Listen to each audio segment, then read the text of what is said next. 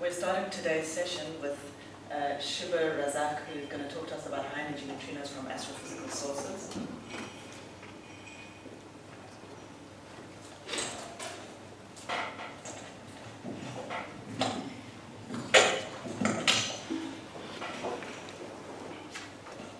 All right, uh, can you hear me? Okay, uh, good morning. So I'm Soebur Razzaque from the University of Johannesburg in South Africa. Uh, and I'll talk about the high energy neutrinos from astrophysical sources. So uh, this conference is about uh, dark matter, dark energy. Uh, so I thought I would uh, show this slide, um, which shows the uh, energy and matter budget of the universe. So we know that uh, that 69% um, is uh, dark energy, and 26%, uh, about 26% dark matter, and only 5% uh, ordinary matters, uh, uh, atoms. However, when we look at the universe, the information that we get um, is 100% from luminous ordinary matter which is about 10% of the ordinary matter, or in other words, 0.5% of the total uh, matter or energy in the universe. And we are trying to find uh, the signal from dark matter. So far, this, uh, this fraction of the pie is 0%, uh, but we hope uh, there will be a finite number here uh, in, in future. Um, so I'll talk about high energy neutrinos. So by high energy, I mean energy about 1 GeV, which is the uh, mass of protons. So these kind of neutrinos, they are non-thermal in nature. Um, and uh, uh they, they are uh, produced some kind of uh, interaction of, of particles.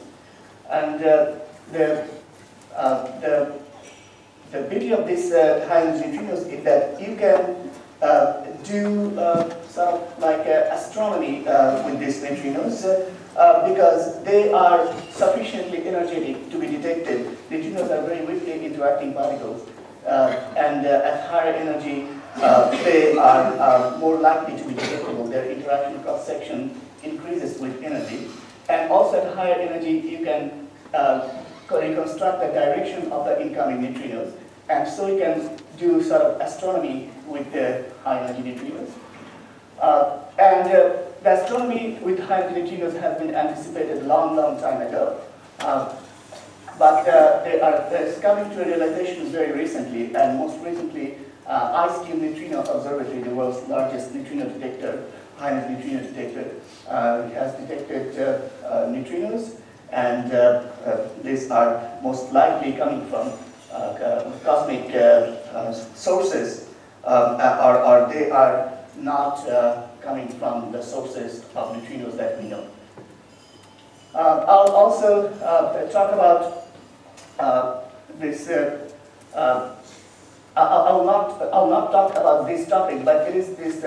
this high energy neutrinos can also provide the cleanest signature of dark matter, especially from the galactic center, the galactic halo, dwarf galaxies, galaxy cluster, all these usual places there that you look for uh, dark matter signal uh, in, in, in uh, electromagnetic channel, you can look for signal uh, in, in the neutrino channel as well, uh, where you would like to um, find your uh, dark matter signature.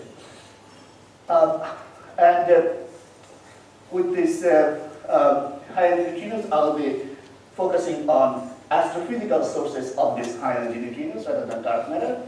Uh, and uh, with the uh, high energy neutrinos, we can reveal the nature of the most extreme object in the universe, which would produce these high energy neutrinos. Okay, so as I mentioned, these high neutrinos, they are associated with particle interaction, and we know that uh, nature produces very high energy particles uh, at energies much higher than we can do on the Earth, and these uh, are uh, reviewed by us through cosmic rays. Uh, this is the spectrum of cosmic rays. So this is the flux uh, of cosmic rays with versus energy. And this goes from about 1 GeV per particle to about 10 to the 20th um, electron volt per particle. And Uh, this, this flux is, is, uh, covers a wide range of energy, and uh, that means that nature is able to produce these uh, very high energy particles over this wide range.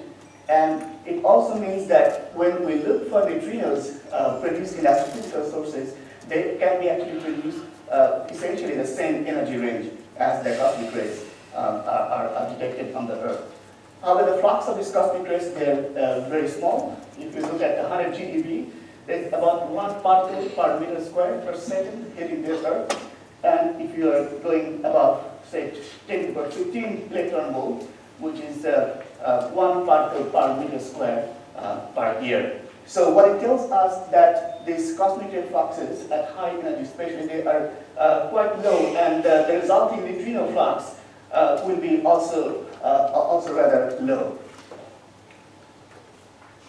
And this is a um, better picture of this higher energy range of cosmic rays, and this is a low out version, so running from 100 TeV to 10 to about 20 electron volt and above. And there are a little bit of features in that spectrum. This is called the knee, uh, the second knee, and the ankle. And uh, one interesting thing is that we actually don't know when these cosmic rays are produced. Uh, there are compelling evidence that these uh, cosmic rays below the knee, uh, below this energy, they are produced most probably in uh, our own galaxy uh, from uh, supernova remnants, explosion of massive stars uh, throwing material out, and there is a relativistic shock that, uh, uh, that flows out from the explosion, and particles are accelerated in the shock. So that is the canonical picture to explain this cosmic rays below the knee. And above the knee, it is, it is widely thought that they probably come from extragalactic sources, because there are not enough powerful sources in our own galaxy uh, to produce these uh, cosmic rays. However, we don't know what uh, the sources are, and the hope is that the neutrinos can tell us what are the sources of these uh, very high energy particles. Uh, so the way the neutrinos are produced at astrophysical sources is very simple. Um, so you need to have acceleration of particle at the sources, and this is widely done using collisionless shocks uh, where these particles are accelerated by bouncing off uh, some random magnetic field uh, that is produced from some instability in the shock, and these um, particles gain energy, and they interact in the surrounding material either with the gas or with the radiation field through proton-proton interaction or photoelectronic interaction, and they produce lots of pions and kaons, and then uh, these pions decay, so neutral pions decay to gamma rays, and this charged pion decay to uh, muon and electron positron, and also with the, this, uh, with, the neutrinos. And although these gamma rays, neutron and proton, uh, they may interact further um, at the source and, uh, and, and, may be lost in the interaction, uh, but these neutrinos, once they're produced, they can directly come from the source, and we can detect them and know whether the particles are accelerated uh, at astrophysical sources or not. So, um, so uh, these neutrinos carry essentially uh, the, about 5% of the primary proton energy. And neutrino astronomy is, uh, uh is appealing in, uh, especially because that you have protons and gamma rays produced at astrophysical source, for example, and the protons, they being charged particles, uh, while they're propagating to the Earth, they, they deflect from our line of sight to the source because of the magnetic field. So there are magnetic field in our own galaxy and magnetic field in the intergalactic medium. And uh, these protons or any other charged particle, they deflect in the magnetic field in those directions. So when they are detected on the Earth as cosmic rays, we don't know where they're coming from. Uh, the gamma rays, so of course, uh, the gamma rays produced in the interaction of cosmic rays. Uh, they are energetic gamma rays, and up to certain energy, about 100 GeV, up to 100 GeV local universe, we can uh, look at the gamma rays from the sources. But if you are looking at the uh, far uh, farther out sources, higher redshift sources, uh, then these gamma rays they interact with the uh, starlight or the infrared um, background in the universe, and they produce different pairs and are absorbed, and we cannot detect them uh, directly. So, however, the neutrinos, uh, they don't um, interact um, uh, much and they can come to us directly. And that's why at very high energy, uh, neutrino uh, astronomy uh, can reveal something what these charged particles and gamma rays cannot tell us. Okay, um, so I mentioned this uh, high neutrinos. They can open actually new window to the universe. We can learn about the universe in a, at the, uh, uh, with the neutrinos. Uh, this will be a cosmic probe other than the photons. Uh, so, and uh, they can carry information from dense region of astrophysical sources. Um, so, in, in some astrophysical sources, you may have a condition that it's optically thick to photons or gamma rays, uh, but the neutrinos are produced and they can come to us and carry information about this dense environment uh, in astrophysical sources. Um, we can use the, uh, the fundamental interaction at extremely high energy, um, like interaction of cosmic rays uh, which uh, at, at energy which we cannot do or attain at the Large Hadron Collider. Um, and uh, also we can look for new kind of interaction uh, with uh, at, at, very high energy uh, with these neutrinos. Of course, we learn about the astrophysics, the sources of cosmic rays. We learn about the energetics that is required to produce cosmic rays as astrophysical sources. Uh, and we also uh, learn about the nature of the neutrino sources, whether the transient sources uh, produce these cosmic rays and neutrinos, or whether the steady state sources, uh, like a supermassive black hole, uh, they produce these uh, cosmic rays or neutrinos. And also in many situations, we have very high energy gamma rays detected from astrophysical sources like blazars. Um, and it is often ambiguous what is the mechanism to produce these very high energy gamma rays. And of course, um, one can produce these gamma rays in two ways. One can go to the uh, in the leptonic part, where electrons are accelerated and they upscatter uh, background radiation or surrounding radiation, Compton scattering, and can be detected as gamma rays. Or there could be cosmic rays which interacts with the gas or radiation field and produce pi zero, uh, and, and those pi zero will be uh, detected as uh, gamma rays. Sorry about that. So neutrinos, uh, so, so there's ambiguity between what the mechanism of producing very high gamma rays, and neutrinos can uh, break this dichotomy um, and, and, and, tell us what is the uh, mechanism to produce um, these gamma rays that we detect uh, from uh, astrophysical sources. However, the neutrinos that uh, can come from astrophysical sources, they're in a foreground that, uh, um, that, that we need to understand, and we do understand it uh, uh, to some good extent. so these neutrinos are actually the same cosmic rays coming from the astrophysical sources, but they interact in the atmosphere of the Earth.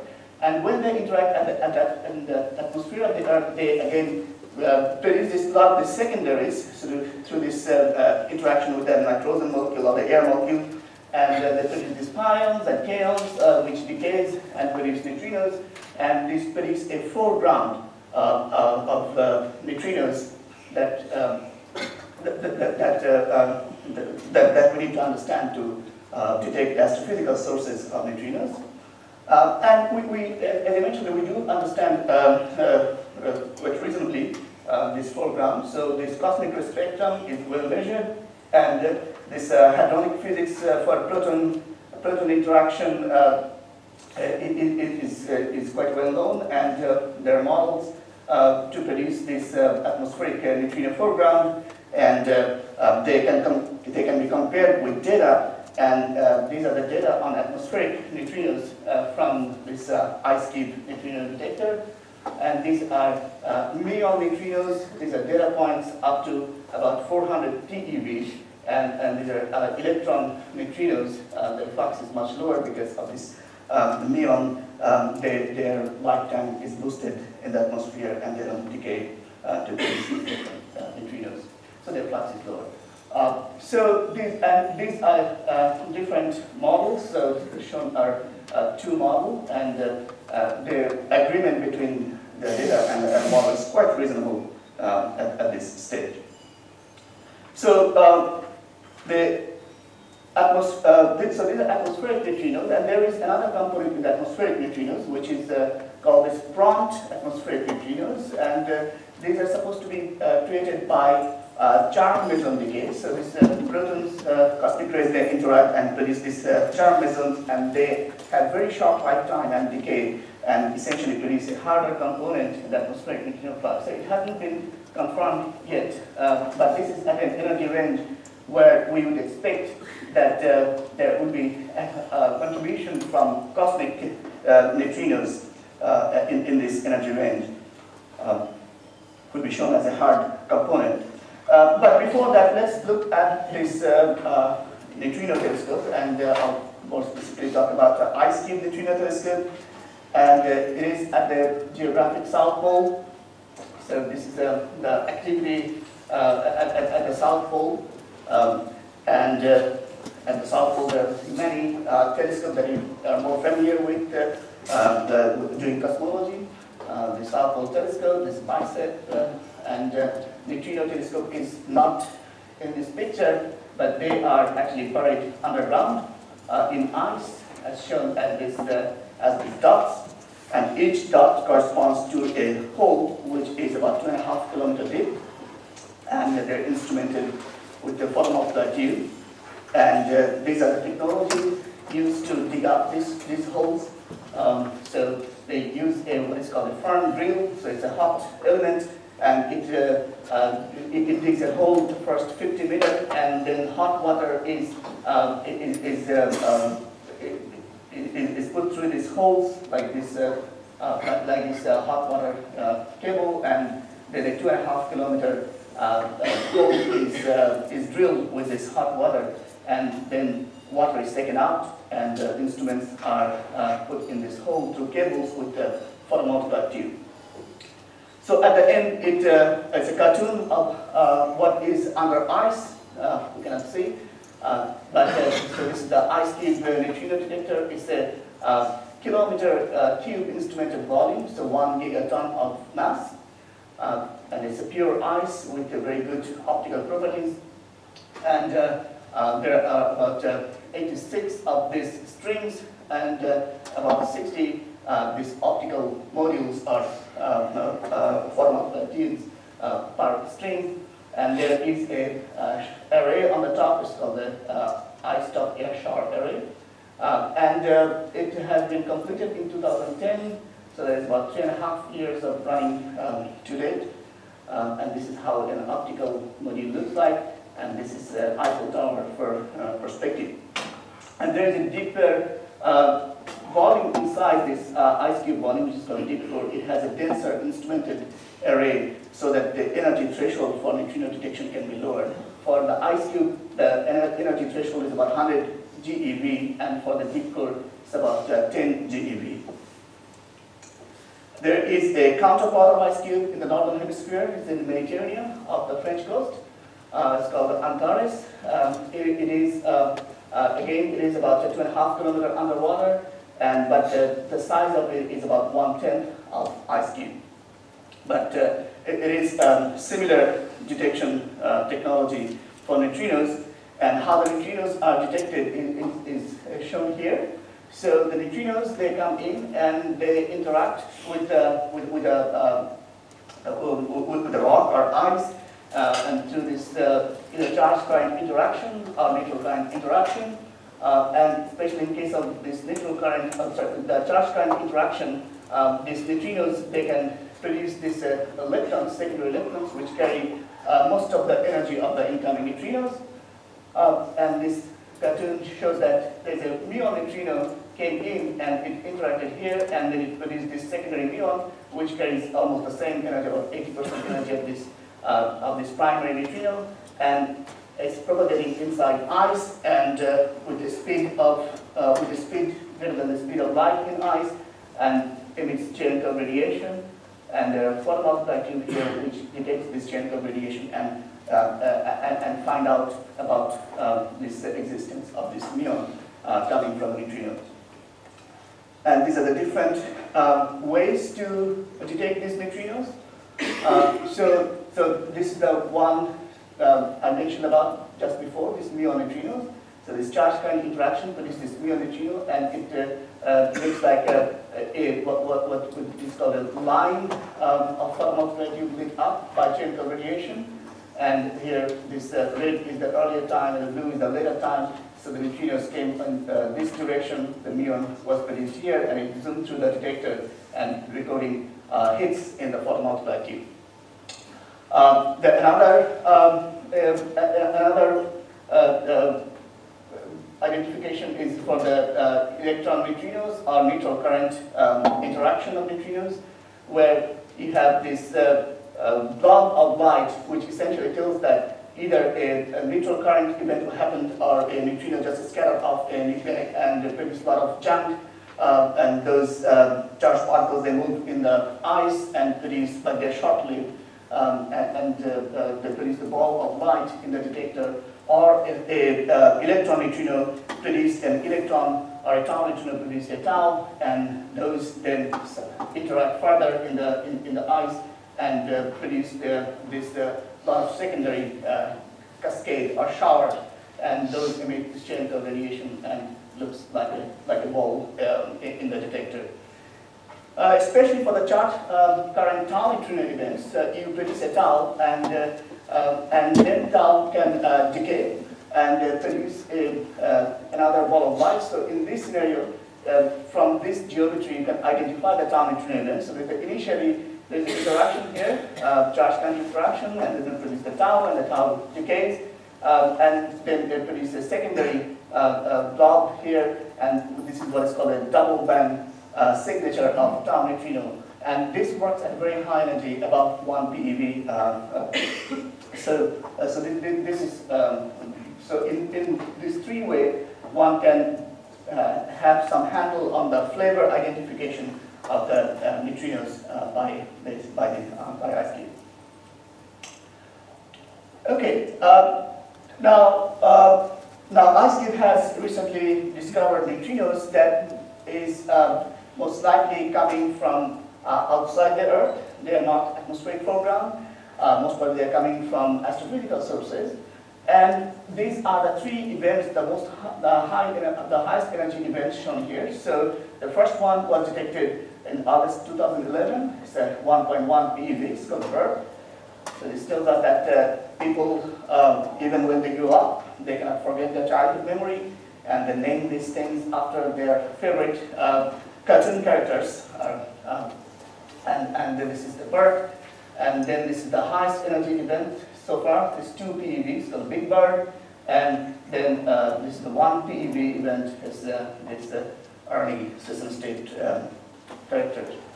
However, uh, however you name them, um, so uh, this is the, the first time uh, there are evidence that high energy neutrinos coming from outside the Earth, most probably from astrophysical sources. So um, this is a uh, distribution of events uh, in IceCube uh, from 1 TeV to uh, 2 PeV. And this is for the southern sky, and this is for northern sky. So IceCube can detect neutrinos coming from above or below. Uh, and uh, and in, in case of southern sky, uh, there is a high rate of atmospheric muons, so are produced from cosmic ray interaction in the atmosphere. And you can see that this rate is the atmospheric muon, which is actually has a six order magnitude higher flux than the atmospheric neutrinos.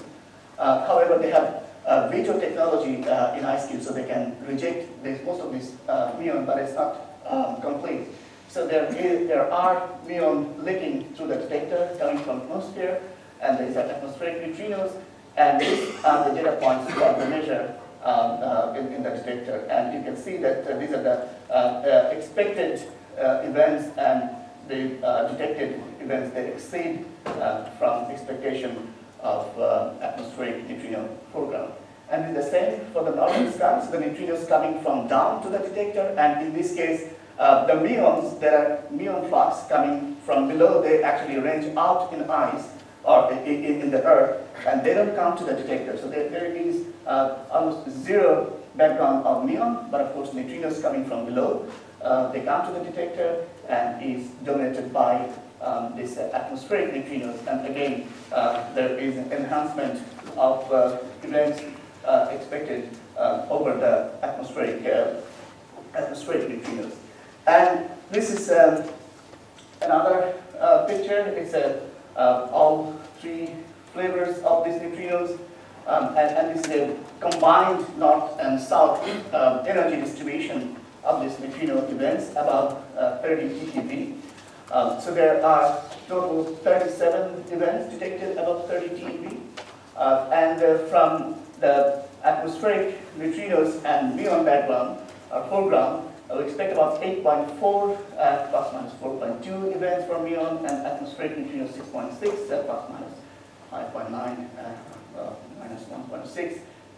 And, and, this clearly shows that these neutrinos, they are they have a different source than these uh, uh, atmospheric neutrinos and muon. And this is about uh, 5.7 sigma rejection um, that these uh, neutrinos are coming from um, the atmosphere.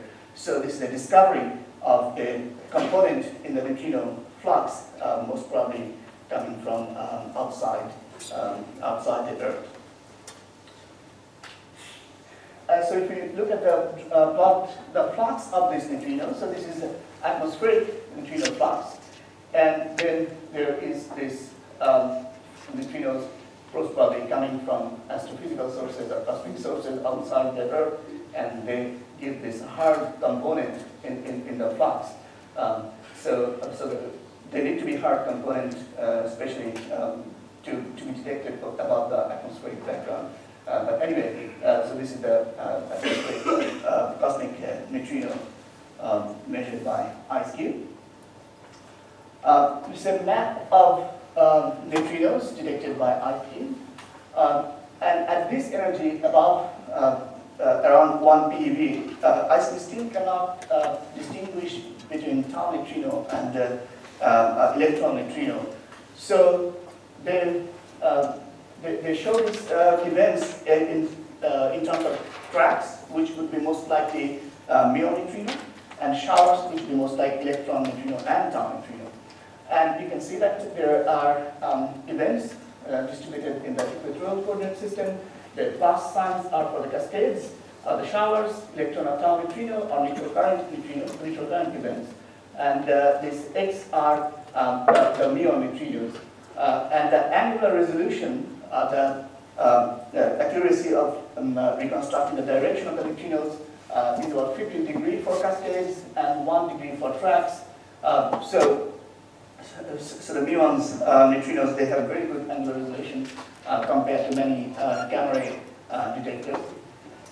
And this plot um, shows that um, they, they, are kind of scattered randomly in the sky However, there is a hint of uh, clustering near the galactic center, although at this point, uh, this is statistically not that much significant yet, uh, but uh, hopefully in, in future, uh, when uh, increased data set, there can be um, more said about the, about the interesting direction in the sky.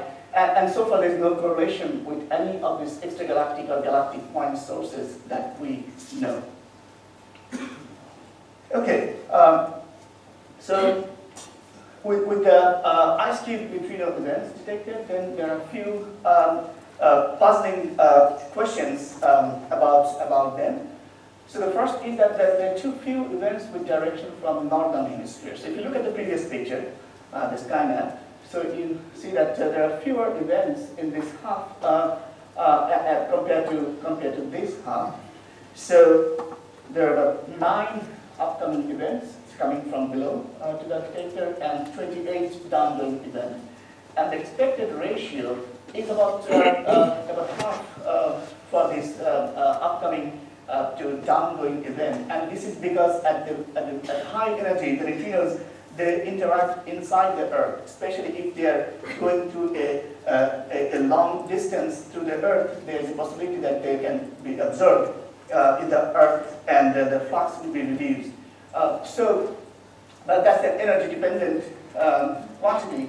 and one would expect about a half uh, reduction of these events uh, from this upcoming to downwind, but the reduction here is, is uh, much, uh, much more severe uh, than one expects.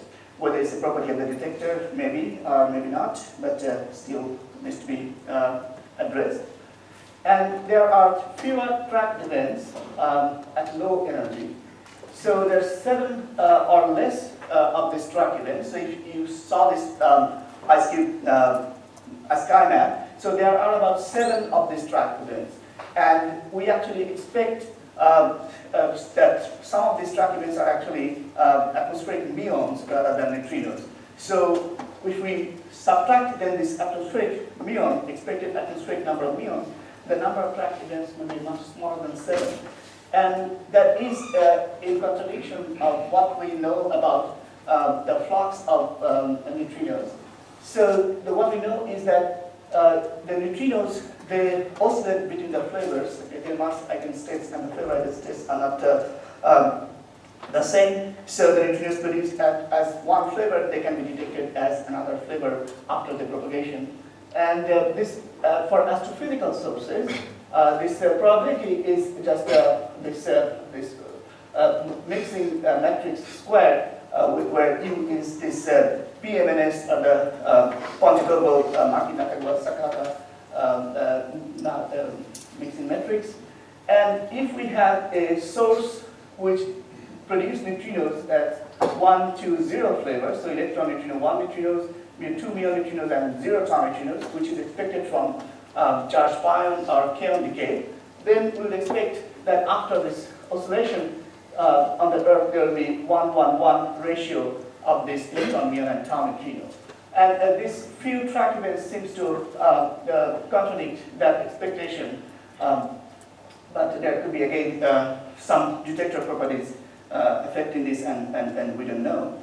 And another issue is about the, the cosmic energy required to produce this very high energy especially at 1 PeV. Uh, so to produce 1 PeV neutrino by a proton, you need about 10 PeV proton to produce them. And if you produce um, 1 PeV neutrino with the interaction of nuclei, then this uh, 10, it will be 10 PeV times the, uh, the Z, the atomic um, uh, uh, the mass uh, number of the, of the nucleon. Uh, and what we know from measurement of cosmic rays on the Earth that uh, this 10 PeV, at 10 PeV and 30 PeV, the observed cosmic rays are mostly actually iron. Okay, so that, that's a that's a puzzle. Um, and and if they are mostly iron, then the expected neutrino flux is quite small. Um, Okay, so regardless of this puzzle, um, that we have detected these neutrinos, and let's search for what kind of astrophysical sources can produce these neutrinos. And in this regard, I will um, um, appeal to conventional astronomy, or the gamma ray astronomy. Okay, so the, the gamma ray astronomy is quite helpful here because the gamma rays are non-thermal and uh, they are can be produced at the same sources where particles are accelerated and hopefully produce neutrinos. And uh, the currently um, the largest uh, um, or the most uh, um, uh, useful um, all-sky gamma ray telescope is uh, what's called a Fermi, of which I'm a member.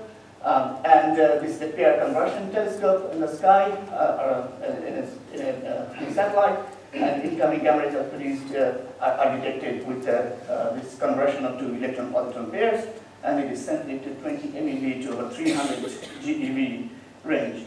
So after five years of observation, uh, this is a sky map of gamma rays about 100 MeV, um, and you see that uh, uh, there's a, this characteristic features of gamma rays which can be uh, can can be shown as uh, the combination of the uh, sources in our galaxy uh, the point sources, this is the galaxy's diffuse emission, the point sources, and extragalactic isotropic component, and who knows, hopefully maybe dark matter uh, component um, in this. Um, this is a uh, this is a slide showing all the discoveries made by Fermi um, and uh, detection uh, over this uh, this five year or five year uh, period. and this list includes from local sources such as stereoscale gamma ray flares, galactic sources such as pulsars, uh, novae, this is kind of new source, uh, supernova remnant, uh, the Fermi bubble in our galaxy, and the starburst galaxies, and as we go in distance, then there are blazars and the bursts. Um, and this is the um, um, uh, publicly available recent catalog, the second Fermi Large Telescope catalog. It contains 1,873 sources, and there's all varieties of sources. Uh, they're listed here. I'll not go into details, um, but uh, there are about 10 source classes now in gamma rays.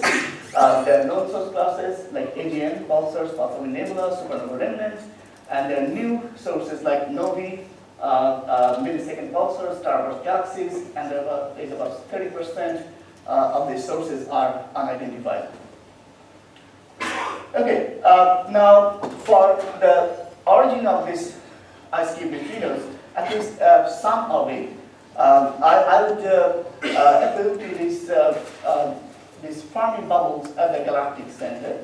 Okay, so they're, they're uh, discovered by Finkbeiner et al. with the Fermi lab data, and they coincident with this WMAP 23 gigahertz and ROSAT X-ray data.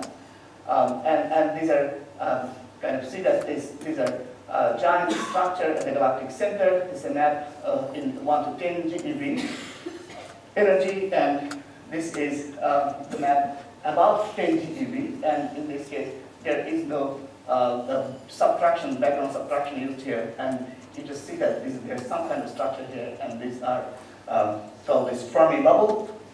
This is a cartoon of these bubbles, and there's a one on the top and the one on the bottom, and uh, uh, they, they, these are um, to be uh, these are measured to be uh, uniformly um, uh, uniformly bright in cameras over this whole bubble surface.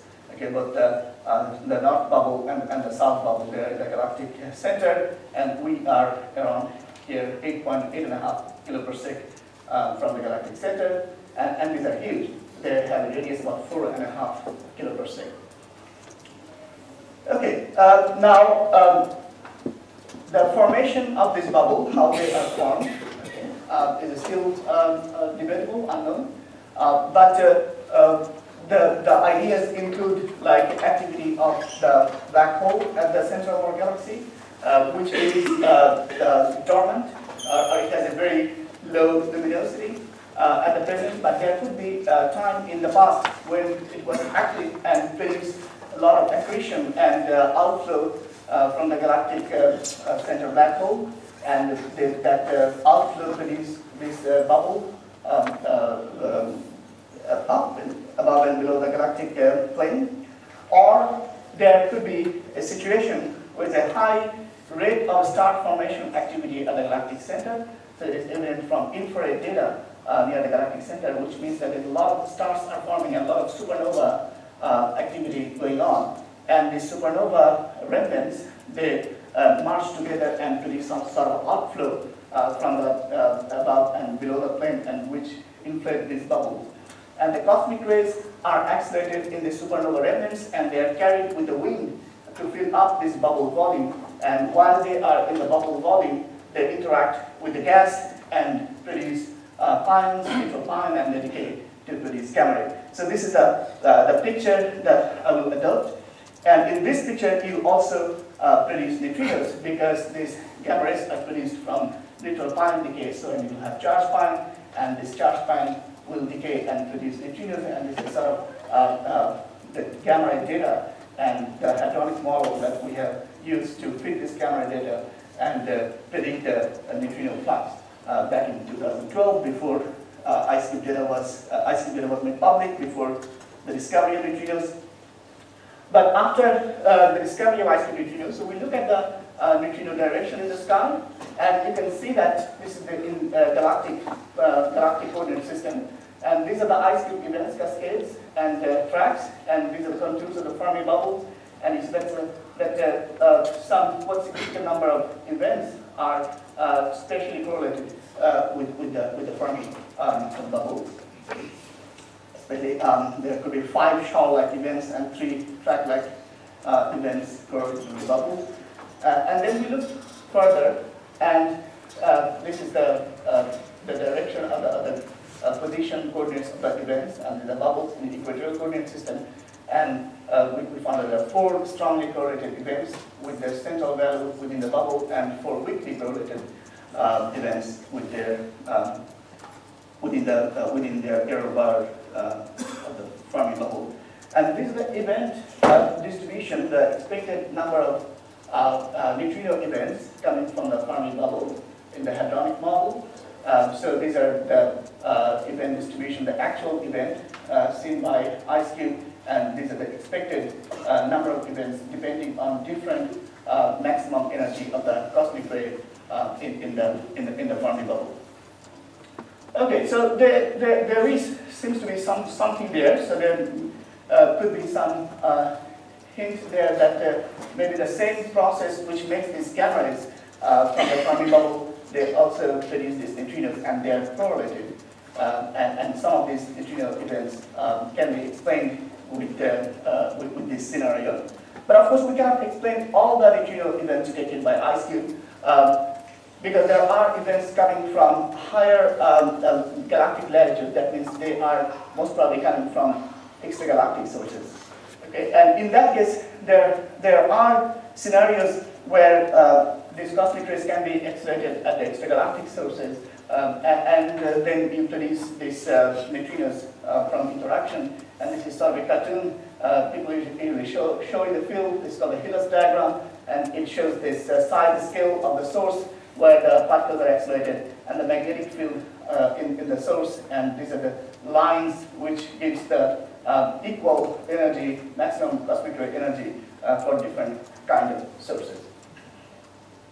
And, and, and there are sources like supernova and supernova hadrons, not in our galaxy, but in the outside galaxies, uh, especially in starburst galaxies, which can produce these neutrinos.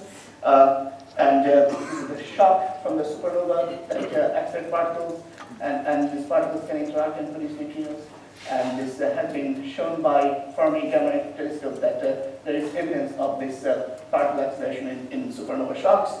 And uh, this is an expected neutrino signal from the starburst galaxies, galaxies outside our galaxies, which has high star formation activity. And there could be gamma bursts and a lot of uh, uh, interest in this gamma ray burst because they are very energetic explosion in the universe and they're uh, probably related to the supernova um, and, and the long duration GRBs, they are related. And I'll not go into details much, but uh, there are different scenarios where uh, neutrinos can be produced in this uh, very, uh, very energetic explosions. And there is, of course, supermassive black holes, the blazars and AGNs. Uh, they are um, they, they, are gamma ray sources and very energy gamma ray sources, and they can uh, produce neutrinos uh, through this hadronic channel. And uh, these are um, some uh, some scenario where this IceCube data, this one point here, is fitted by um, these neutrinos from these AGNs. Okay, so so so I think that the discovery of IceCube um, is, uh, is, is very interesting, and this is probably the first glimpse of uh, a, a, a, cosmic messenger other than the photon that we can use to learn uh, about astrophysical sources. And uh, there, uh, my personal view, is that this this IceCube neutrino events they are most probably coming from both the galactic and extragalactic sources. And for the galactic sources, there is hints that uh, they may be coming from the Fermi bubbles, uh, but, uh, but of course we also need extragalactic sources because we cannot explain all the sources, all the events.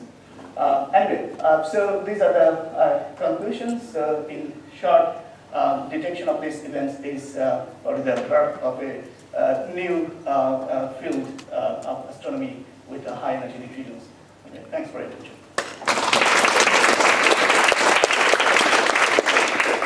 questions?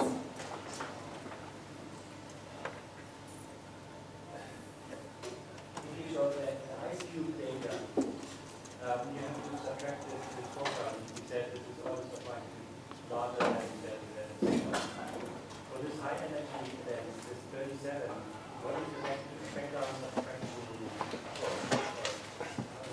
How many could they be contaminated by background? Yes, are backgrounds uh, the, coming from both atmospheric neutrinos and atmospheric muons. So, uh,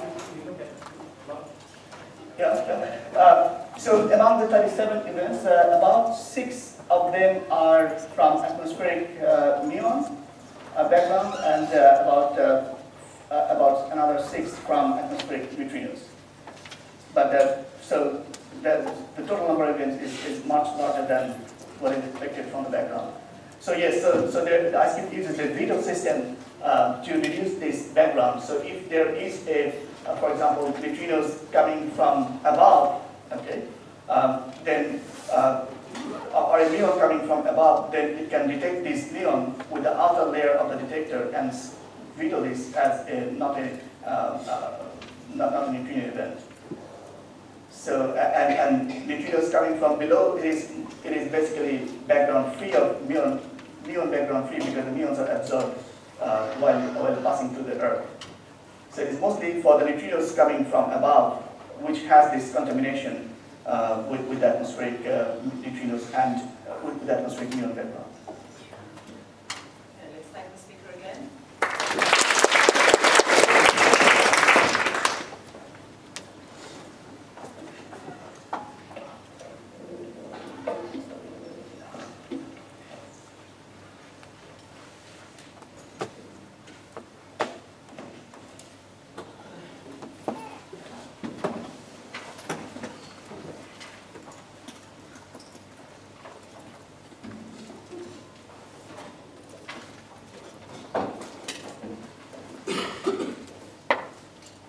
And now we have Christof Wetterich talking about crossover gravity. Yes? There you go.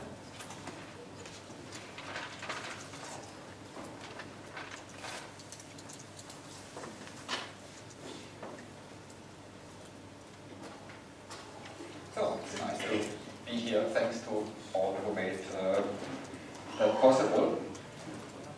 Uh, well, when last year I wrote an article that uh, there may be no Big Bang and uh, the universe may be shrinking, uh, nature took it up. And of course, uh, there were immediately a lot of nonsense uh, headlines. Our institute, we had a, a lot of good laughing, for example. German physics stops the universe uh, and uh, things like that. But there have been also quite uh, serious articles, uh, journalists doing good work. For example, this one making a picture of the universe as I will present it to you today. That looks strange. uh, that looks strange. Well, I really tell you the universe is shrinking. At least there's a picture where the universe is shrinking. Uh, and this is actually not a big deal. Uh, the universe may be shrinking. This is, uh, the universe may be shrinking if, at the same time, the Planck mass and the particle masses are increasing. It's as simple as that. Uh, for example, redshift. Uh, redshift, you can explain it, of course, by standard uh, expansion of the universe, of geometry changes. You could also have a fixed geometry and the particle masses increase. Well, if the particle masses increase, the size of atom decreases, obviously. And uh, that means uh, when light in distant galaxies has been emitted, uh, the atoms were, um, were bigger and the emission was at higher, at lower energies. So instead of uh, the usual redshift due by the expansion, you simply look back in the history and you see the atoms with different properties and if you see larger atoms, you see a larger redshift. So what is actually increasing, what we have measured, is a ratio. It's always dimensionless ratios that you can measure. In this case, what you measure is the ratio between the distance between galaxies divided by the diameter of an atom, uh, because we use the atoms, of course, for all our. So that's the, the dimensionless ratio that we have measured, and this ratio is really increasing. But of course, you can explain it either by an expanding geometry or by a shrinking size of atoms. Actually, this shrinking size of atoms, uh, since there was a discussion on Hoyle, uh, this uh, general idea is not new. What I will present you today is of course not a different model of cosmology as Hoyle was proposing one. I'm just proposing a different picture of cosmology, which has actually the same predictions as the usual Big Bang cosmology, except for a few uh, uh, exceptions. So that point I want to make it from the beginning. Uh, it's not a completely new model of cosmology. It's a different way of looking at the same physics. Uh, and uh, it's just having different pictures of one and the same uh, physical content. And of course, they look very strange at the beginning, but then if you concentrate on physical measurable quantities, like for example this ratio of distance between galaxies divided by uh, the atom size, uh, if you concentrate on these, then the two pictures will give the same answer. For the theorists, uh, there is an exact map between the two pictures. Weyl scaling or conformal scaling. So I can be sure really, from, not just from mathematics, that in all these pictures the predictions will be, will be the same. Uh, so of course I can compute in every picture, but just to, you know, to give you a, a certain feeling uh, why at the end this is not so surprising that everything comes out right, I can just map that to a more standard picture and I will give that to you at the end. So once you have several pictures, then of course the question is simply which one is useful. And I want to convince you that the picture of uh, the increasing masses and the increasing Planck scale is actually quite useful for understanding many features of cosmology, in particular the issue if there was a singularity at the Big Bang or not. So the central ingredient for all these cosmologies are scalar field. Why do you need that? Well, if you want to have your particle masses change in time, uh, quantum field theory tells you you need a field that changes its value in time, just as the, as the Higgs field, if the Higgs field changes its value, the particle masses of the electron mass, for example, changes its value. So here we have a more general Higgs mechanism, if you want. Uh, I call this field the Cosmon at the time. So all particle masses are proportional to this Cosmon field, and if the Cosmon field value changes, or for example increases, as it will do, then the particle uh, masses will increase and the atom size will shrink. So this scalar field plays a crucial role in cosmology, and actually it had already, in a certain sense, its merits. Uh, this was a scalar field I used in uh, 87 when I introduced uh, uh, quintessence. Um, actually, you may ask, why did I put this slide with a, uh, with a reference? Uh, of course, would be nice if you cite occasionally original work and not only uh, references. I admit that is part of the motivation. I think that's human. You do not want your work to be forgotten, but the real motivation is a different one. The real motivation is when I uh, discussed these things in talks at the time, the reaction was always, well, it's interesting, it's not obviously wrong, but let him just do. Uh, why should we worry about it? And it's a bit this type of attitude I feel uh, for many talks on the subject I want to present you today. People say, yeah, it's not obviously wrong, but let him do. And I just want to motivate you that uh, it is perhaps useful to put a little uh, intellectual energy on it. After all, cosmologists should have a, their own opinion if the universe uh, has a singularity or if the universe is eternal, after all these other questions that we are always asked by the public. So at the time, of course, the prediction was not perfect. It was a prediction that there should be homogeneous dark energy of the same order as dark matter. Uh, it was a real prediction, not just hand waving, model, compute, field equations, solve it. Uh, but it did not uh, match all the present observations, and I will tell you a, a, simple modification for late cosmology having to do with the way how neutrino masses depend on the scalar field that solves these discrepancies and makes really a, a model that is compatible with all the observations. One of the nice features of these scalar field models is that they can be used not only for late dark energy, dynamical dark energy, but also for inflation. You actually have the same field, the same simple, effective action with field equations that describes both inflation and uh, late dark energy, and I often call that Cosmon inflation. we will come to that. The point I want to get to here something that you're perhaps not so much familiar with, but uh, I want to talk about the important ingredient that such a scalar field may be for our understanding of quantum gravity. Uh, so this is a very basic motivation, and uh, I have drawn a little cartoon how I imagine quantum gravity to work. So it's a full quantum field theory of gravity as the metric and the scalar field as the ingredients. And uh, the way how it should work is actually that there are two fixed points. One fixed point is an ultraviolet fixed point. This is necessary if you want a quantum field theory of gravity to be a consistent renormalizable theory. It will not be perturbatively renormalizable, but if there is a fixed point, it will be non-perturbatively renormalizable.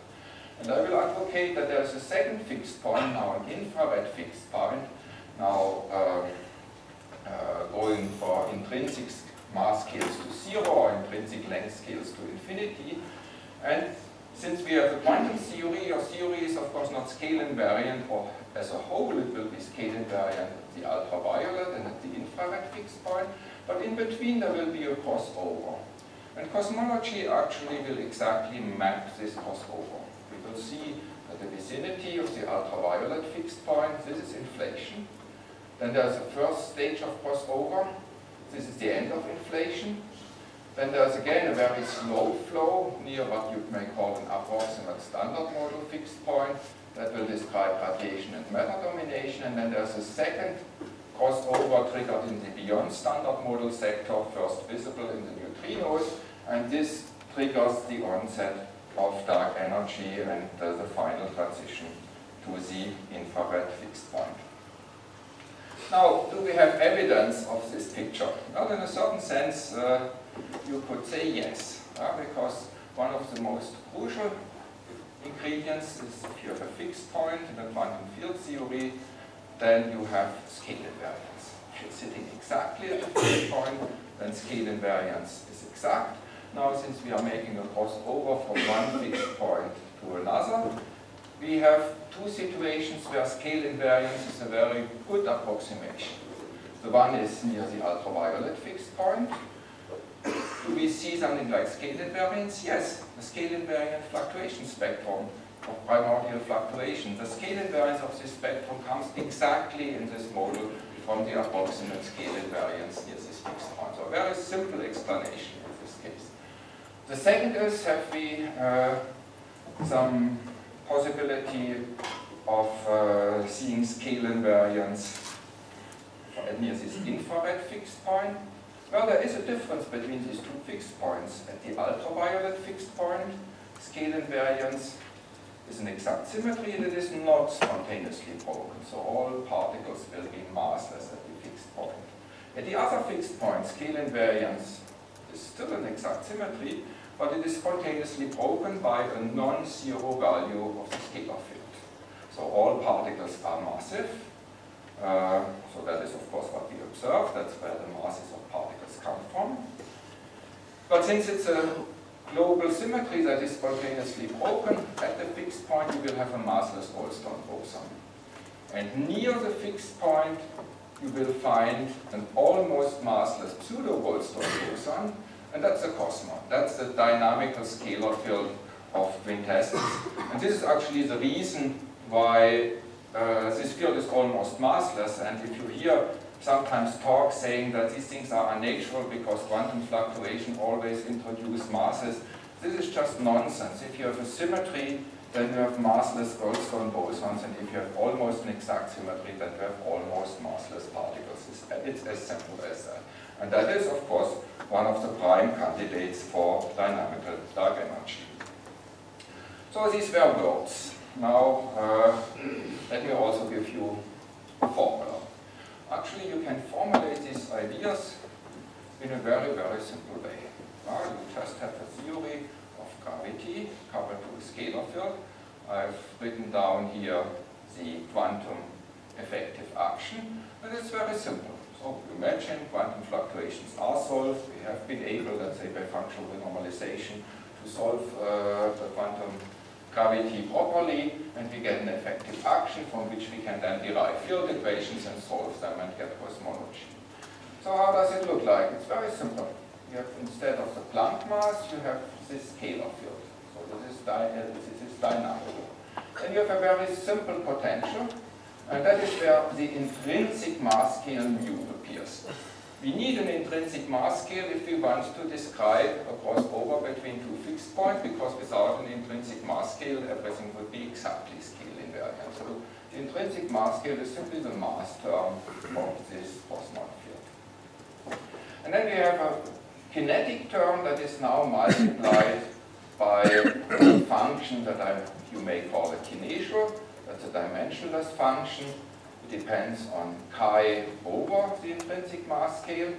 For b equals 6, we have the conformal theory, so that is also the bound where things get unstable, so you need a positive b.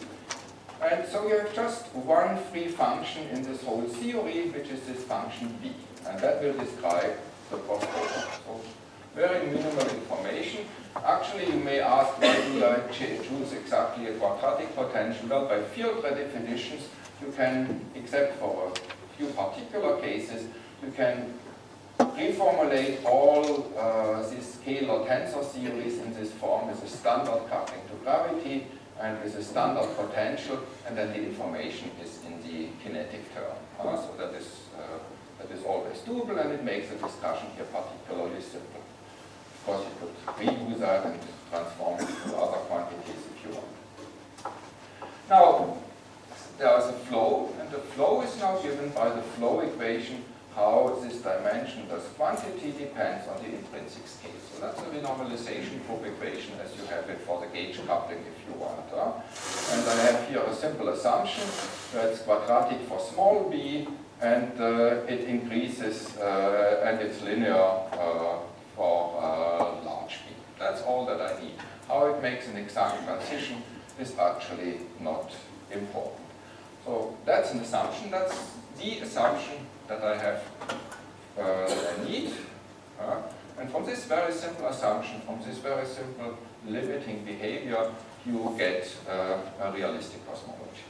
Of course, you need the particle physics sector, how particle masses depend on chi, but except neutrinos, all particles masses will be proportional to chi. So that's of course an example of a variable gravity theory. The scalar field couples to gravity, the effective Planck mass. Oops. The effective Planck mass depends on gravity. This will be an important ingredient. So it has a very simple uh, scalar potential. Nucleon and electron masses are proportional to the dynamic Planck mass. This actually ensures also that all the observational bounds uh, on time-varying couplings uh, are obeyed. Uh, you test always scalar ratio, or mass ratio, so they are invariant. And only the neutrino mass will be different from uh, the chi dependence of the neutrino mass be different. We another uh, pointer? Because this one is really pretty heavy. Anyhow, let me go on. So, uh, just to come very quickly to the uh, infrared fixed point and the ultraviolet fixed point, they're pretty easy to understand. Uh, that was missing. Right, so before I go let me just do parameter counting. So we had two parameters in this function b, and now we have one intrinsic mass scale. An intrinsic mass scale is actually never measurable. It sets your units uh, in a certain sense. And uh, I've set units such that the present value of the scalar field chi is equal to the Planck mass, and in these units, this only mass scale has a size of 2 times 10 to the power minus 3 electron volt. Uh, so, uh, or the inverse of it is 10 to 10 here. That will be actually the only, it, will, it will be actually the only mass scale in this theory. This is pretty important. Because there will be not a tiny ratio between two mass scales like the cosmological constant over Planck scale. The Planck mass is dynamical, it just changes, it just grows and grows and grows. And there's only one mass scale. And if you have only one mass scale, you get rid immediately of, uh, the, of the tuning problems for the cosmological constant. We will see the uh, field equations of this will just be of the type that the Planck mass increases, increases, increases, compared to this mass scale mu, and uh, as a result of that, uh, today's uh, dark energy is very small without that you ever need any tuning. so only one mass scale, no explicit Planck scale. Now to the two fixed points that we can do quickly. Well, the infrared one where the mass, the intrinsic mass scale goes to zero is very simple. This part drops out. This part here goes to a constant, actually zero. So obviously there is no scale, it's scale symmetric, it has actually even conformal symmetry. The ultraviolet fixed point is a little bit more tricky, not much more tricky. Now we have this kinetial diverging with a certain power of 1 over chi. So when the infrared uh, fixed point, uh, then uh, this kinetial diverges. So you would say, well, then we still have a mass scale because we have this scale mu that goes to infinity, and here we have a mass scale where it's scale symmetry, but actually you find that scale symmetry is realized but with an anomalous dimension. The scalar field does not scale with a canonical dimension, but with an anomalous dimension, and that is pretty easy to understand. Once you just use a renormalized scalar field, you just bring the kinetic term to standard form, then it's just d mu chi r, d mu chi r. I've actually added for the ultraviolet fixed point also the dimensionless higher order curvature invariant, and that's the only thing that survives at this fixed point. Because if you compute the term that is proportional to the curvature scalar or proportional to the potential, uh, and you express it in the terms of the renormalized scalar field, these terms actually go to zero when u goes to infinity. So it's just a different realization of scale symmetry with an anomalous dimension. This fixed point is crucial for quantum gravity. If it exists, the old ideas of Weinberg on asymptotic safety are realized, and there's a lot of work on functional renormalization pioneered by Martin Reuter, uh, showing quite a lot of evidence that such a ultraviolet fixed point in quantum, in uh, gravity really exists. So, and once you have it, then you have scale symmetry.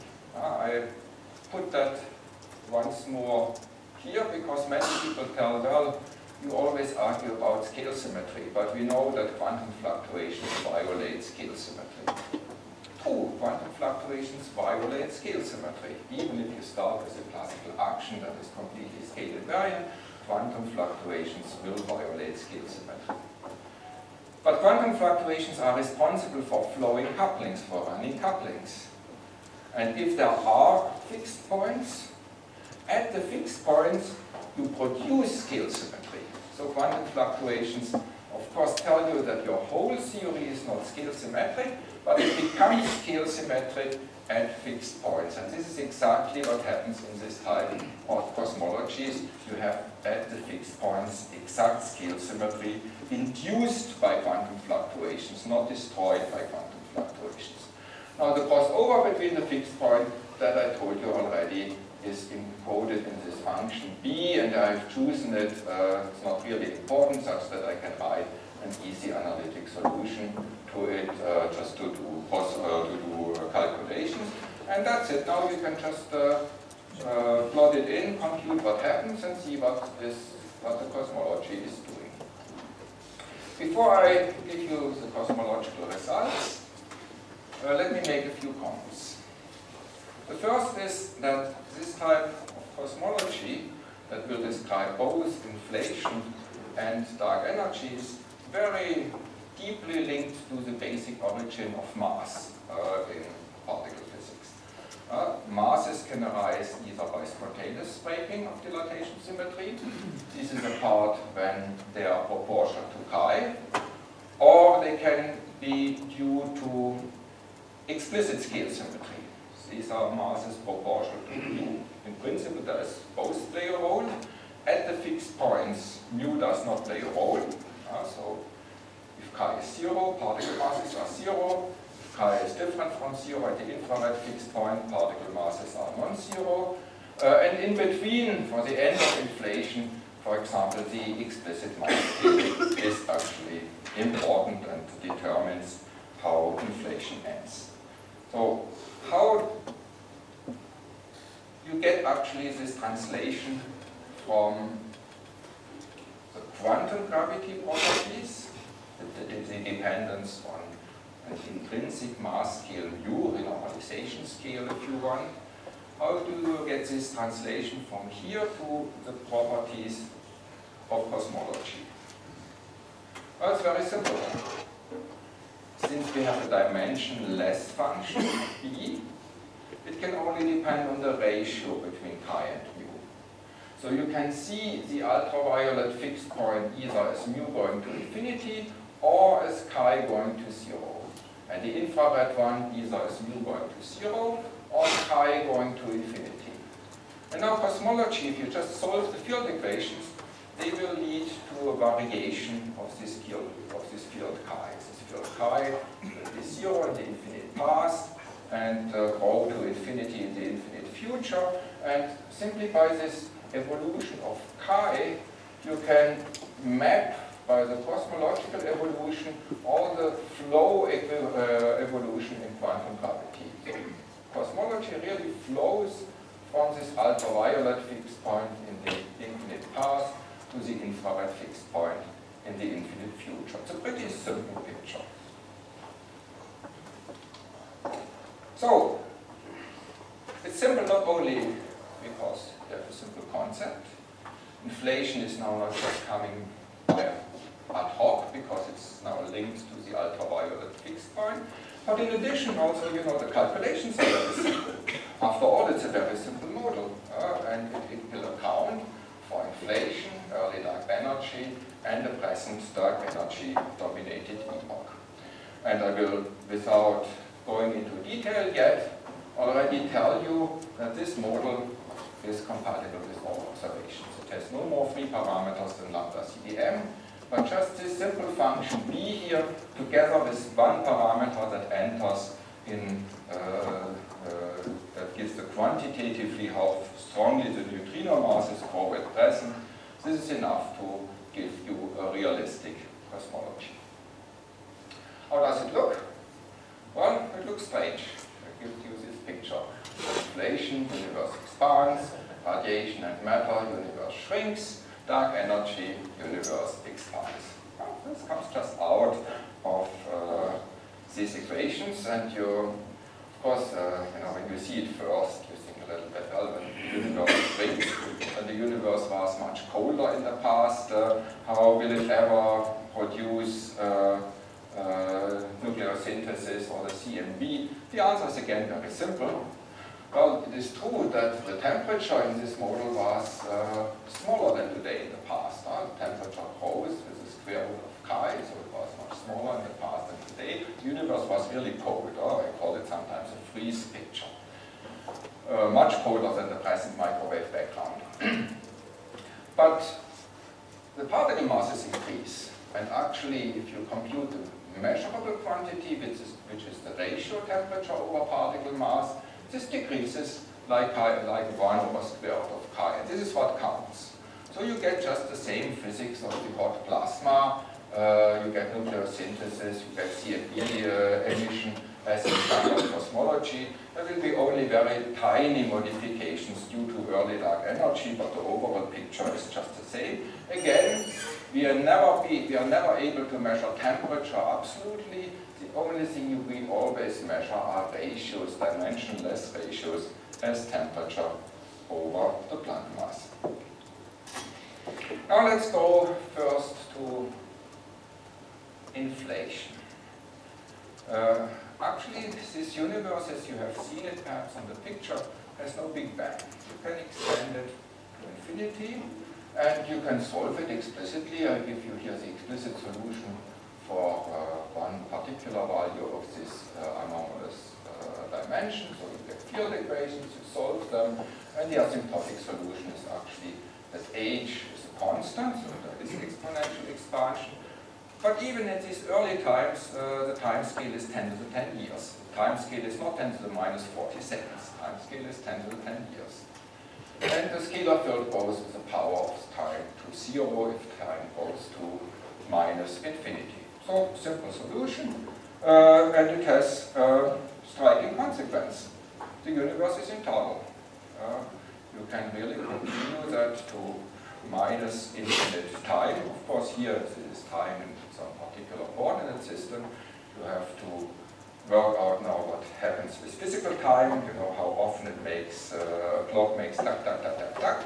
You count and indeed uh, the number of oscillations goes to infinity when time goes to minus infinity.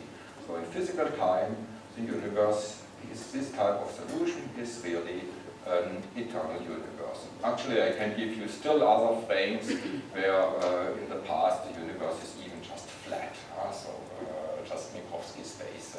And the scalar field goes to zero with a different ray. There's of course, there are of course not only two pictures, but once you have understood how to map between different pictures, I can give you a third one where the universe would even be flat in the past. So, that's perhaps one of the most important lessons there is no Big Bang singularity. The Big Bang singularity comes only when you make a singular transformation to the Einstein frame, and we may discuss a little bit more in detail uh, uh, in the discussion if you want, how this, uh, what is the role of this singularity. Second, the universe is always very slow. There's only one mass scale, 10 to 10 year. That's the mass scale for radiation domination, that's the mass scale for inflation. It never goes faster. Uh, so it's in a certain sense a pretty boring universe uh, because you know you go back, and it's just the particle masses go very slowly to zero. Uh, Hubble parameters always 10 to 10 years. Uh, uh, not very dramatic. I can't help that is what comes out. So now, is it realistic? Well, you can compute. You can compute density fluctuations, of course, in this uh, model. You can compute uh, the tensor to scalar ratio. You find that uh, the spectral index is typically something like 0.96. I have plotted it here in the range sigma from 1 to 2, which is the one where the fixed point exists. Uh, so that is a range that is very well compatible with measurement. And it gives a somewhat large tensor ratio. So uh, that may be uh, disputable. Of course, if BICEP would be right, this would be exactly uh, the tensor ratio you would get. And actually, uh, since I like this model, I even made a bet with Luca Amendola that uh, the BICEP result is right, even though I was convinced that you cannot really trust BICEP. that's uh, a completely different question, but the simplest model just give you a large tensor ratio. Now you can also compute the amplitude of uh, primordial uh, fluctuations. Um, uh, okay, that was just a first little comment. So the, one of the parameters we have in this model, this anomalous dimension sigma, this is directly determining both the spectral index and the tensor uh, fluctuations. Now the amplitude of tensor fluctuations is again, uh, is again a very simple explanation. When you are close to a fixed point, it depends how close you are in a certain sense. Uh, just for any renormalization flow. If you're very close, you stay eternally close to the fixed point. At some moment you will deviate from a fixed point, and this sets a scale. And this scale may be, since running is logarithmic, may be larger, actually, for example, three or four orders larger than the intrinsic scale mu. And this is exactly what gives you the amplitude of primordial density fluctuation. It is given by the scale when, uh, the, when you leave the fixed point, and it has very naturally uh, a small value. So, at some moment, the behavior near the fixed point ends, you make a crossover, uh, you enter faster running of the coupling, and uh, this really sets the end of inflation. Now, what happens after? You have heating. I will not go into details. There are several papers on that by different authors now, how to compute that. After that, you enter a new type of scaling solution. Now again, with a Hubble parameter proportional to mu, and the field chi increasing exponentially, so all masses increase exponentially. But of course, the scale on which they increase exponentially is this slow scale mu. So it's on a time scale of 10 to the 10 years that they increase exponentially. But a different scaling solution. It holds both for matter and radiation domination. You realize again an extremely simple solution. And uh, you can compute what are these constants for radiation domination. You find the universe shrinks. Uh, you can compute it uh, also for matter domination. Uh, there you have to take into account that particle masses are all proportional chi. So you will get now an additional term to proportional to the trace of the energy momentum tensor from this chi dependence of the mass.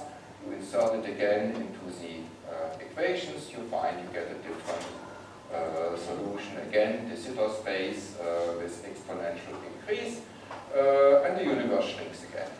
And you can actually compute for both of these solutions how much is their dark energy, and you find this really realizes this old scaling or tracker or attractor solutions where dark energy decreases proportional to the dominant energy density. You can compute how much there is early dark energy, and this is directly given by this function b that goes to zero at, last, at late time.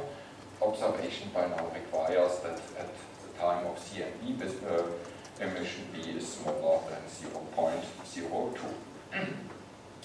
so that's all fine, but that's of course a scaling solution. And if you want to have realistic cosmology, so in the sense that was the status already in 87, 88 with the scaling solution. Now for realistic, it has a nice feature, it explains why dark energies of the same order of magnitude as dark matter. It also tells you that cosmology effective cosmological constant really goes to zero because there is no other uh, energy, there is no other uh, potential energy than given by the scalar potential. You may add actually a constant that will not change anything.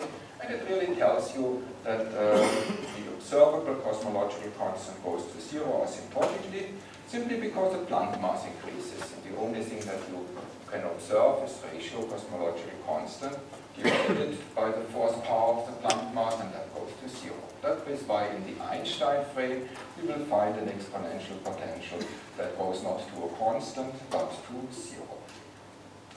But still a scaling solution is not good enough. It explains why we have dark energy of the same order as dark matter, but we cannot explain why at present we have more dark energy than dark matter, and in the past, uh, from nucleosynthesis and so on, we know that we have substantially less dark energy than radiation. So you need uh, something that stops this scaling evolution of the scalar field, and this is actually done by the second stop of the crossover. Uh, this is in the beyond standard model sector. Again, these two scales are logarithmically separated, so just as QCD, they can be, you know, different by orders of magnitude as the, let's say, the ratio of lambda QCD or the unification scale. And the second uh, crossover, since it's in the beyond standard model sector, will be visible first in the neutrino sector. Since neutrinos, by the seesaw mechanism, involve the beyond standard model sector, uh, having neutrino mass or triplet, whatever you want. And uh, so let's explore now what happens if the particle masses for all standard model particles except the neutrino scale proportional to chi, but if you have a second crossover that shows up first in the neutrino sector, then the neutrino mass will increase with a different rate and actually faster than uh, the electron mass. So the neutrino mass divided by the electron mass will increase in the present epoch. But this has very simple consequences. It stops the scaling solution. You find a new solution. Uh, and you can compute what is the present dark energy and you can actually relate it to the neutrino mass. In this question, in this equation, you have of course quantities like neutrino density and so on that come, come from decoupling in the early universe, so it's not such a simple relation, but if you do everything numerically, you find that the fourth root of the dark energy density should be 1.27 times 10 to the power minus 3 electron volt times this parameter order of order 1 gamma, which tells you how strongly the neutrino mass increases, times the neutrino mass in electron volt. You see, that's a quantity of order unity, and the whole thing should be 2. It's a pretty good prediction.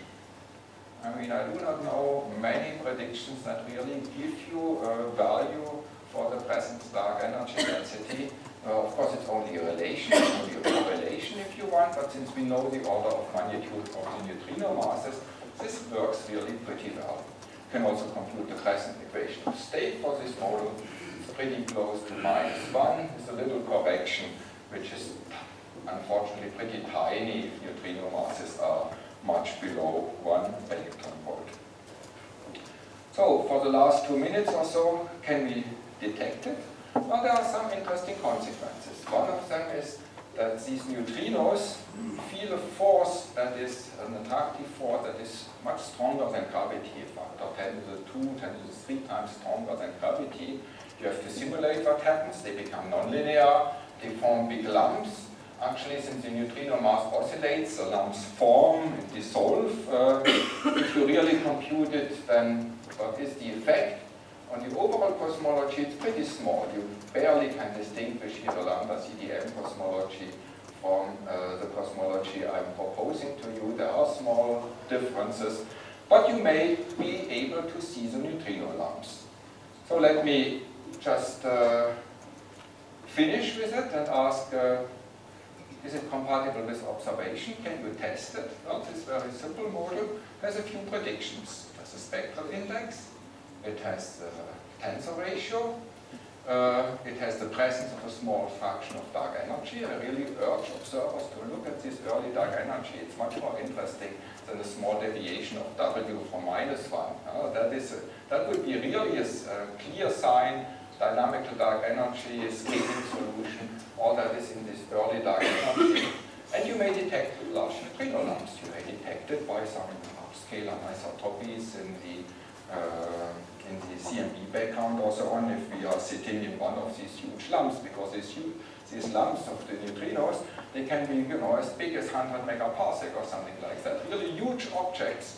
They are not dominant because there are so few neutrinos in the uh, universe, but they are visible by their gravitational potentials and we may be able to detect them. And just to finish, before my chairman gets impatient, uh, all these nice things you can of course simply map it to a more standard frame by a Weyl transformation. Then you have a Planck, a constant Planck mass, constant particle masses, the exponential goes to zero, exponential, the, the potential goes to zero exponentially, very nice Tesson's potential, actually the original one, and the whole details uh, where you see inflation and so on are now given in this kinetial, and this kinetial is directly related to this constant B. So, that's it. Uh, here you have a standard picture with a Big Bang. Uh, the transformation is singular at the ultraviolet fixed point, which explains the existence of a singularity in the standard Einstein picture. And I will conclude with a few very simple statements. Uh, in this model, the crossover in quantum gravity that is not yet shown, but where many groups are working actively to see that, this crossover in quantum gravity is reflected in the crossover in cosmology. It, this makes quantum gravity actually testable by cosmology. and not only in the very early universe, but also in the late universe through its effect on dark energy. The scalar field, if you want, it is, uh, you know, a, a, a, crucial outcome of these ideas of uh, uh, quantum gravity, just like, let's say, uh, electromagnetic radiation comes from a unification of electricity and uh, magnetism, and you can test this scalar field really also in the late universe by testing the properties of uh, dark energy. The simple crossover model explains all cosmological epochs. Uh, you have just the same quadratic potential both for inflation and for uh, early dark, uh, and for the late dark energy.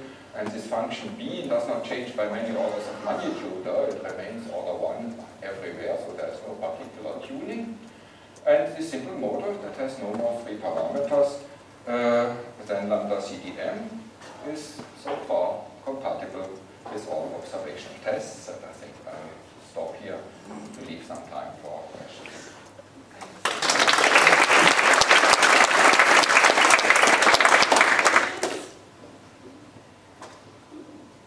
Well, talking about this changing, this might naively suggest that there might be problems with energy density conservation, which is very particle.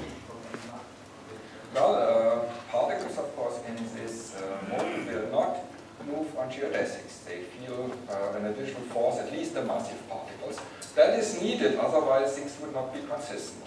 Of course, if you map it to the Einstein frame, in the Einstein frame they will follow but in this freeze frame, as I call it sometimes, they will not move on geodesics. It's important in order to get things straight uh, and uh, correct. uh. There is, of course, energy momentum conservation. Uh, well, uh, energy con depends how you how you do it. I mean, there is, of course, an, you can define an energy to a momentum tensor for the right-hand side of uh, of, uh, of r mu nu minus one half of g mu. Uh, that one is conserved, but since you have a chi squared in front of it, uh, means things are a bit more complicated. So you have the standard energy momentum tensor that is conserved in, uh, uh, in the Einstein frame you have, if you rewrite your equations as uh, you know, Einstein tensor equal to uh, a constant times the, uh, the energy momentum tensor, this energy momentum tensor would of course be con conserved as required by the Bianchi identities. But uh, if you just have, uh, the field equations are a bit more complicated when you're, when you're uh, when you, instead of a Planck mass, you have a, uh, a scalar field uh, multiplying it, and you just have to derive the proper field equations and solve them. Since you have diffeomorphism symmetry uh, realized, there's never ever anything going wrong. Uh, I of course agree with your idea that one can in the Einstein or in Jordan uh, but uh, I have difficulty to understand why your, your ultraviolet fixed point doesn't, isn't the singularity exact, exactly because of the question which already Kim uh, mentioned. If you look, for example, at, at uh, the equation of motion for particles, you know, they are no longer geodesics, they conserve the one over pi, right? In the additional force which you get from the scalar field, and this, this additional force for the geodesic deviation equation, for example, diverges, right? Or for the other, for your new equation which you get instead of the geodesic. And it's important to take all that properly into account, otherwise you will not get a proper mapping between the Einstein frame and uh, the Freeze frame. Well, I had a lot of discussion with uh, Steinhardt and Linde on that at some moment. Uh, is the universe really eternal? Uh, the way that brought me to this firm, opinion that the universe is eternal was first the discovery that you can have a picture where everything is just flat space uh, in the infinite past. Then, of course, uh, proper time and so on is infinite and everything. So, but once you have one picture where everything is obviously singularity free, you ask where does the singularity in the other pictures come from? Uh, where does, for example, the finite proper time in the standard picture of inflation come from? And the answer is a relatively simple one. First of all, proper time is not a scale invariant quantity uh, because it has dimension. You can define a scale invariant quantity that is proper time divided by particle mass. Now this is a see that this is a quantity that is the same in all frames. Uh. But now you see already the problem when the particle mass goes to zero, then proper time uh, becomes uh, a bad measure. Uh, simply because your uh, inverse particle mass goes to zero, uh, goes to infinity, so your time intervals will in this picture go to zero. And this is exactly the problem, uh, the point where uh, which is the origin of the singularity in the standard in the standard Big Bang picture. Because if you look for any massive particle, what its is what its momentum is doing when you go close to the Big Bang, the momentum is increasing to infinity. And that's nothing else than telling, again, the physical particle masses are going to zero. Uh, because it's particle mass divided by momentum that is measurable. So you really have a situation at the Big Bang, even you know, physical, even in the standard picture, where physical particle masses go to zero. And then, of course, you should not use proper time. It's as simple as that. Even not proper time divided by particle mass, uh, multiplied by particle mass is not a good measure. Then you have to think again, what are really good measures that are independent of the frame, physical measures. And one of the simple ones is just you count how often a wave function crosses zero. That's a discrete number, that's the same in all frames. And this counting tells you, you can now compute that in the Einstein frame, you can compute it in any frame, and the number of ticks really goes to infinity when time goes to infinity.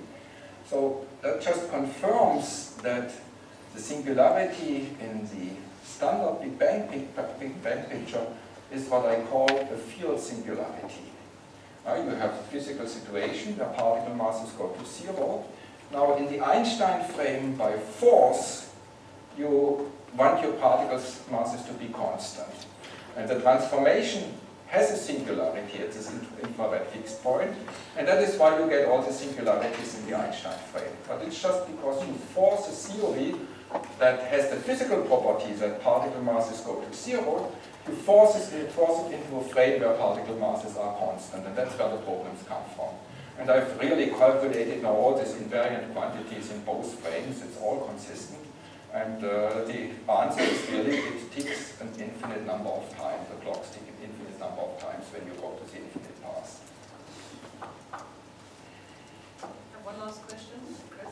Um, what happens to black holes in such a, such a model? Are they um, well defined? Do they behave the same way, or is there something different about it? Very nice question uh, that I'm posing myself since a long time. Uh, what happens to black holes?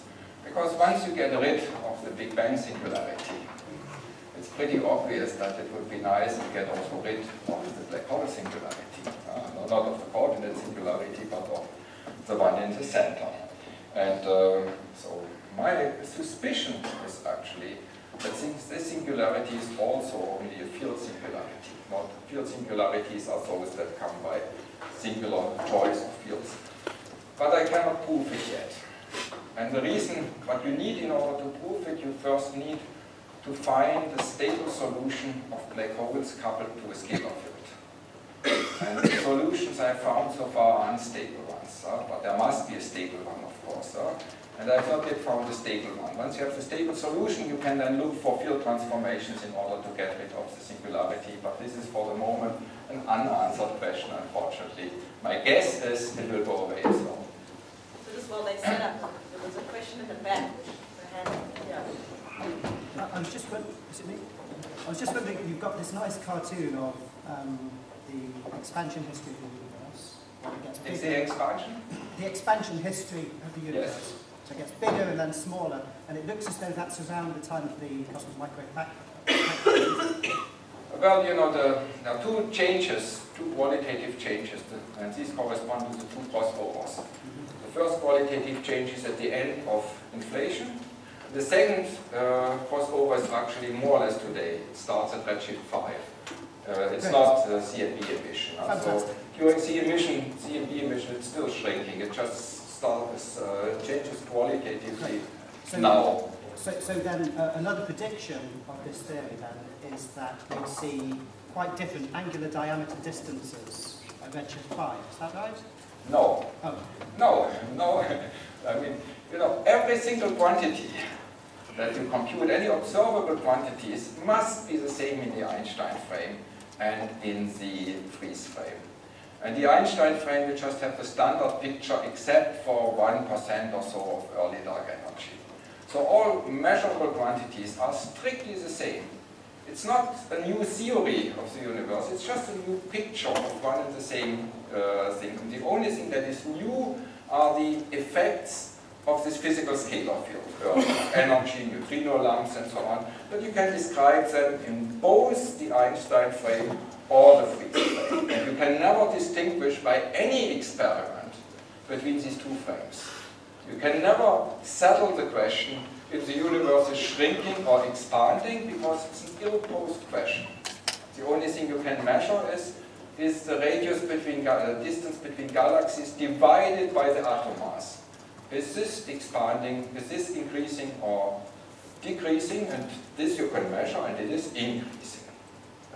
Okay, let's thank the speaker again.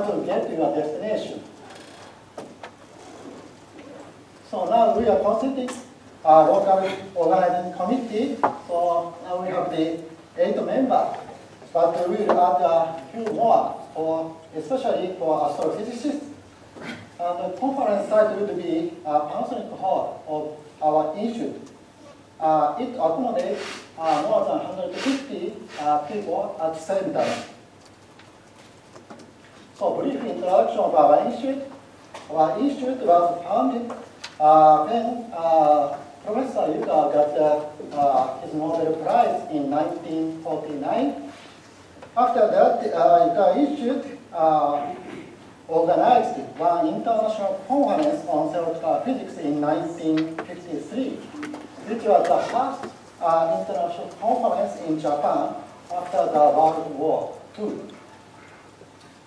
Since the uh, first international conference, uh, our institute played an important role as the first uh, joint research center in Japan.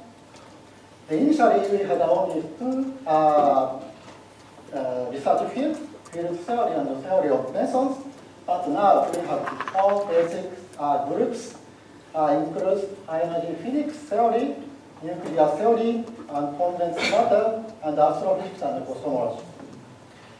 Then currently we have the 23 academic staff, uh, two Hakuri research professors, and uh, 30 research associates, uh, 30 graduate students, and uh, uh, 20 uh, skilled supporting staff. Actually, we are organizing the uh, about 30 workshops every year. So we have the skilled supporting staff. They will uh, help help you for your the application and the other required arrangements. So this is uh, access to our institute, uh, Kyoto City. Um, probably you will arrive in the two uh, major international uh, airport. It's uh, Kansai Airport or Narita International Airport. If you arrive in Kansai International Airport, just take the uh, Airport Express Haruka, then it will bring you to the Kyoto station directly. It uh, takes about one and a half hour. If you arrive in the Narita, then just take the also uh, Narita Express, just JR line.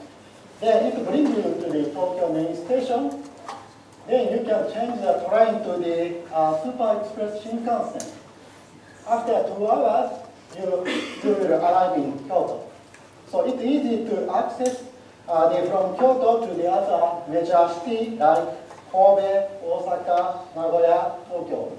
So probably uh, before, after this conference, you can easily arrange your uh, seminar, uh, research seminar, your sightseeing. So this is the weather. Now uh, planned schedule is uh, December, but December is not so very cold. So temperature is uh, similar to the spring March. So okay, and uh, probably you know the Kyoto is a very famous tourist uh, place. So we have a lot of uh, temple and shrine, and these things uh, every uh, we actually Japan has a more clear season.